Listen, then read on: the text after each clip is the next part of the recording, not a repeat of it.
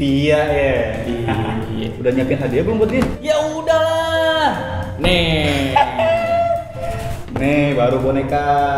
Gede juga. Lu yakin mau ngasih itu ke Tia?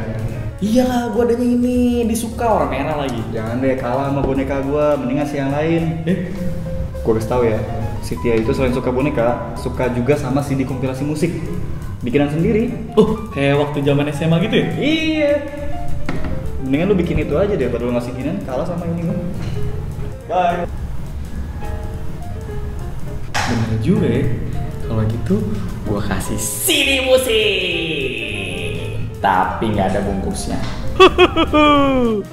Bingung nggak punya cover CD?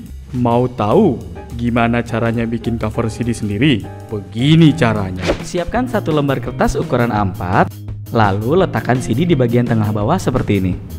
Lipat kedua sisi kertas, lalu lipat juga bagian bawah kertas sampai menutupi setengah bagian CD.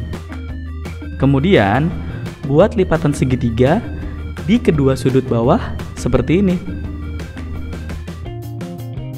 Lalu, lipat bagian luar segitiga ke arah dalam untuk mengaitkan sudut kertas.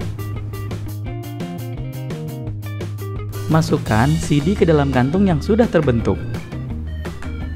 Lalu, lipat bagian atas untuk membuat penutup.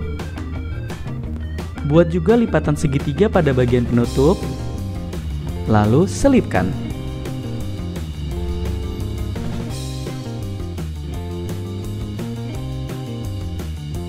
Jadi deh, cover CD buatan sendiri. Gimana? Gampang kan? Kalau kamu mau, kamu juga bisa menempelkan label ke cover CD-nya.